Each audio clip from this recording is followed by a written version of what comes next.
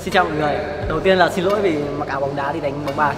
Anh em mới chơi bóng bàn thì thường gặp đối thủ đánh hai mặt mút cơ bản, nhưng khi gặp đối thủ đánh mật vật gai thường rất là bỡ ngỡ và không biết xử lý như thế nào. Nên hôm nay mình đã mời một vận động viên hạng C diễn đàn bóng bàn Việt Nam, đó là anh Lâm Làng Xét.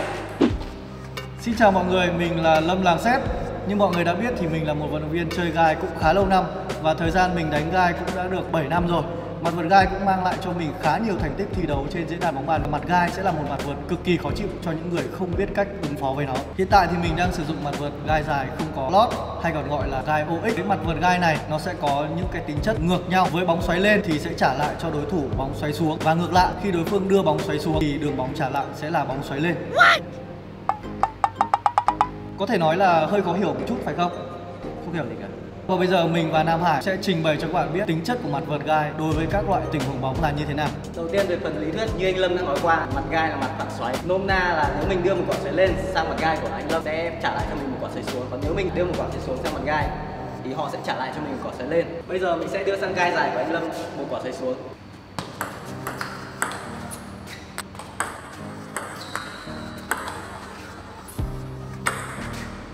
Có thể thấy anh Lâm dùng động tác gò bóng, nhưng lại tạo ra bóng xoáy lên, sẽ khiến mình gò bóng lại bị bay lên trời. Suy ra khi mà mình đưa một bóng quả bóng xoáy xuống sang một gai của đối thủ, thì đối thủ chắc chắn sẽ trả lại mình bóng xoáy lên. Lúc này mình không thể gò được phải chuẩn bị đè vào đầu bóng.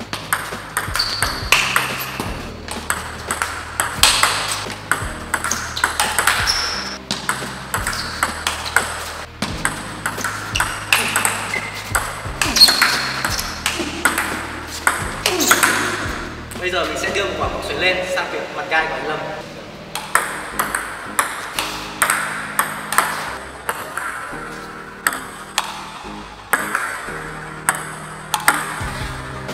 Đấy.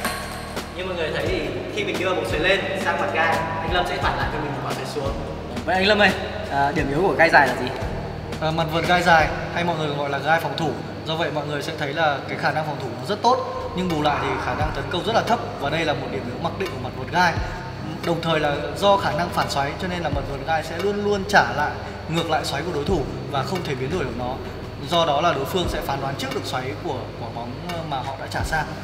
Và ví dụ mà mình cứ giật xoáy lên sang bên gai thì người ta chắc chắn sẽ trả lại mình xoáy xuống. Đúng rồi, chắc chắn sẽ chỉ có xoáy xuống mà thôi.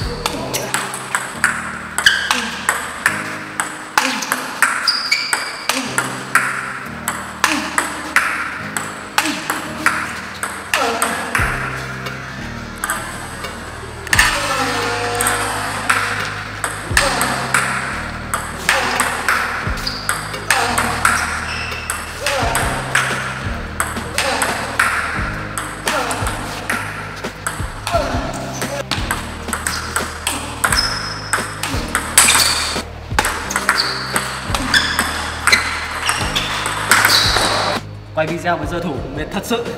Mong rằng sau video này thì anh em sẽ hiểu hơn về mặt vợt gai dài và mình sẽ không bị lụi nghề.